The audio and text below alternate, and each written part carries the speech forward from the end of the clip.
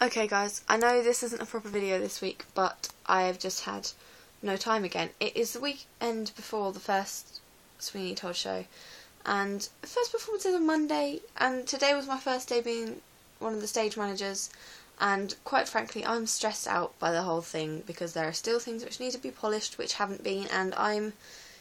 I don't usually get stressed, I'm not a stressy person, but because of this I am, and it's just all going everywhere in my brain at the moment. So this week and next week, guys, it will just be me talking to my phone like this because I just don't have any time to use my computer to edit things.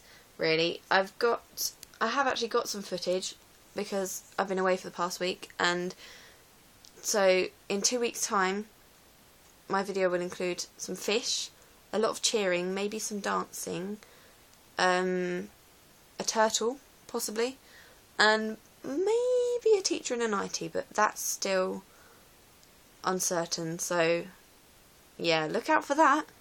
Um, in other news, hello again, Alex, it's lovely to see you. Um, hello, Becca. I'm looking forward to seeing you on the channel. Hopefully, you'll be up and running soon. Um, yeah, that's about it from me. Bye, everybody.